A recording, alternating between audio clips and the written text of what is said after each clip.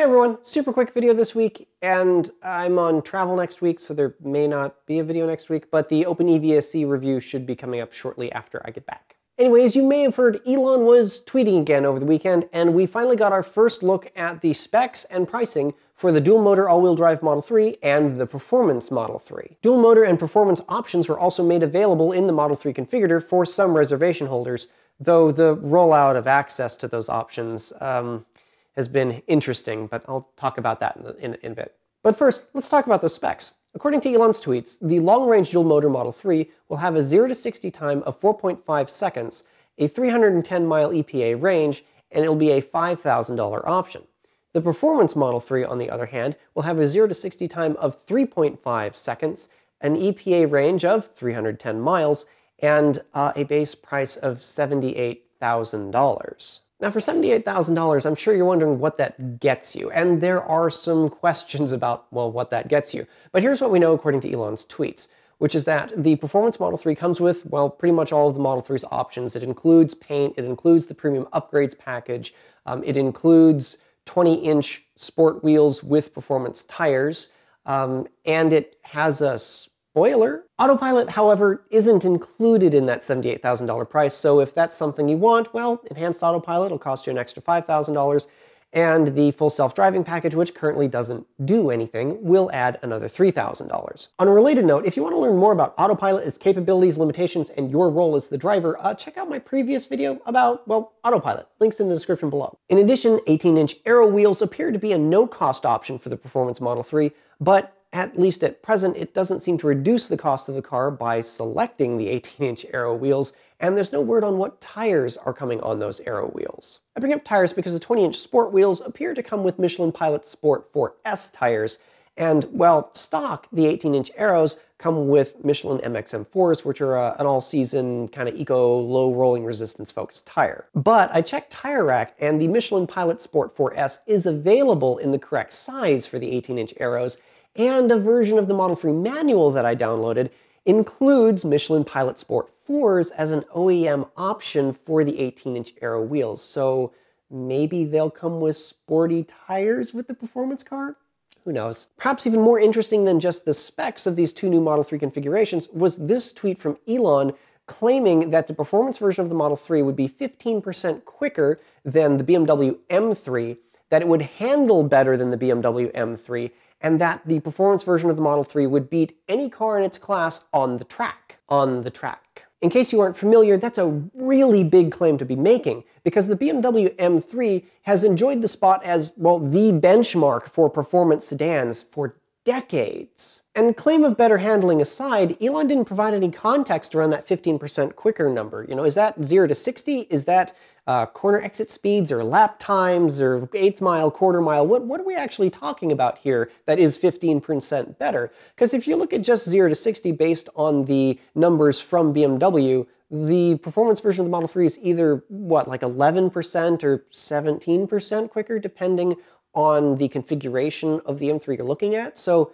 well, neither of those is 15. I don't know. We'll have to wait for some context on that one. These are especially interesting claims given that Tesla has never really made cars geared toward exceptional handling, and no additional details were given regarding differences in suspension versus stock for the performance car. So where they're getting the improved performance, aside from just more power, um, don't know yet. Okay, okay. Tesla did make the Model S P85 Plus, and as I recall, some of the very, very early P85Ds inherited some of the suspension parts from the P85 Plus, and, and those two cars are probably as close as Tesla's come to making handling-oriented cars, but I'd argue that both of them didn't go far enough.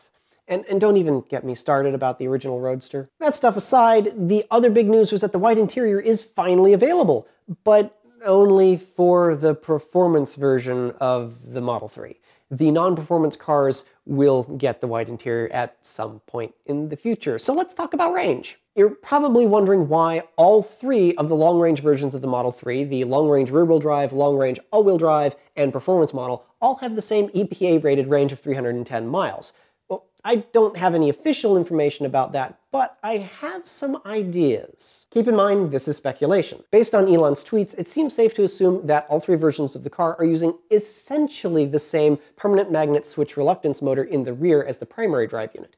The all-wheel drive cars get an induction motor in the front to drive the front wheels. When you aren't demanding high levels of performance from the all-wheel drive cars, I'm guessing that they're probably torque sleeping that front induction motor, since outside of its very narrow peak efficiency, it's probably not going to be anywhere near as efficient as the rear drive unit. So it's likely going to be using that rear drive unit as the primary unless, like I said, you either demand performance from the car or for whatever reason, traction control needs more power to the front. If that's the case, then I would expect the EPA ratings to be about the same because inside of the test parameters for that EPA range testing, just the rear drive unit would be doing anything. You can probably think of this like the old rear-wheel drive Model S85 and the Model S P85.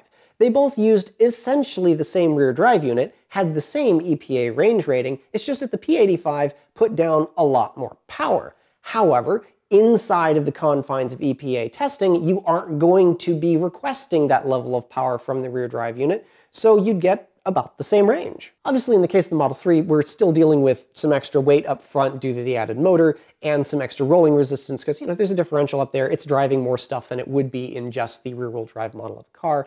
But those are really tiny factors in the grand scheme of EPA range testing. So, I don't know, they could be pretty much the same, unlike the dual motor Model S, because remember, it's using an induction motor in the front and the back, and the induction motors that they're using have very narrow peak efficiency bands, and so, you know, you gear those motors differently, you ping back and forth between them to try to get both of them as close to those efficiency, those narrow peak efficiency bands as possible. Because outside of those peak efficiency bands, those induction motors, um, the efficiency falls off really quickly. Whereas in the Model 3, with the permanent magnet switch reluctance motor in the back, that should have a much broader uh, high efficiency band. We technical stuff, people just want to know when they can buy it. Yeah, well, some people might not like the answer to that one because there are quite a few questions a bunch of people got access to the configurator with the new options, but then that access got pulled back, or they were able to go through the process and hit the order button, and then it errored out, and they lost access to those options.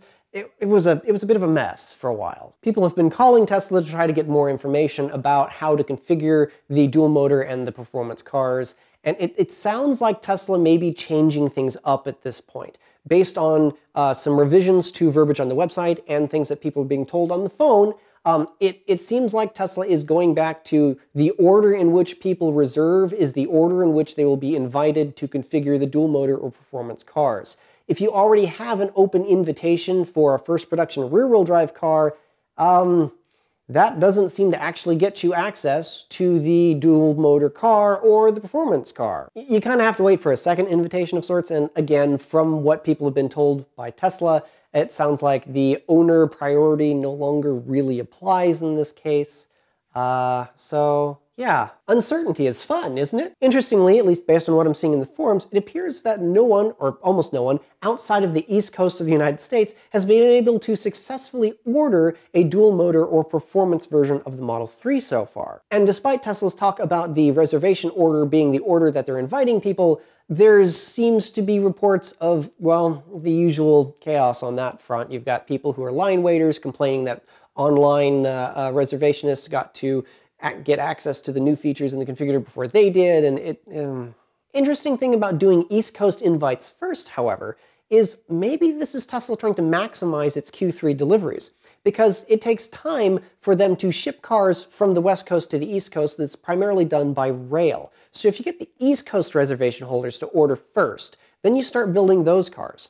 Then you open it up to you know, the middle of the country and the West Coast. And then by the time the East Coast cars are done, they're on the rails, they're on their way out, you start building the West Coast cars, and then you deliver all of them before the end of a quarter. Anyway, I'd love to show you guys the configurator, but I don't have access to the new options yet either. So with that, I will bid you adieu for a week or so. Uh, if you have any questions or whatever, go ahead and post those in the comments below as usual. Don't forget to rate and subscribe, and I'll see you later.